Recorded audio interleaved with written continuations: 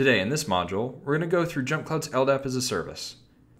In order to configure LDAP for your JumpCloud organization, you'll first need to log into your JumpCloud Administrator account.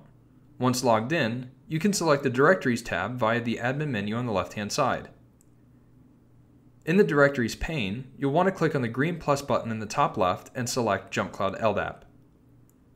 The JumpCloud LDAP pane will slide in from the right-hand side, allowing you to begin configuring your LDAP module. On the Details tab, this is where you can see the LDAP instances org DN, or distinguished name for your org. You'll notice that the O value is your JumpCloud organization's ID. Under LDAP configuration, you can also choose to enable Samba authentication via LDAP as well via the checkbox. We will cover Samba in another tutorial module, and we'll keep it unchecked in this tutorial video for now. The second tab, User Groups, allows you to add different user groups to have LDAP access meaning that you are granting the ability to users inside of these selected bound user groups to authenticate to either applications or NAS devices via LDAP or Secure LDAP.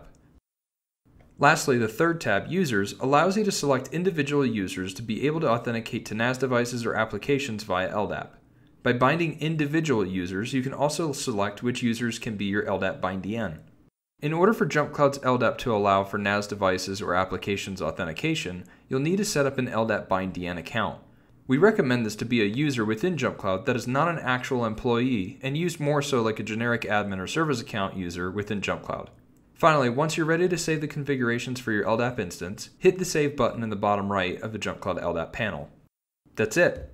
You've taken your first steps towards configuring JumpCloud LDAP in your company's environment.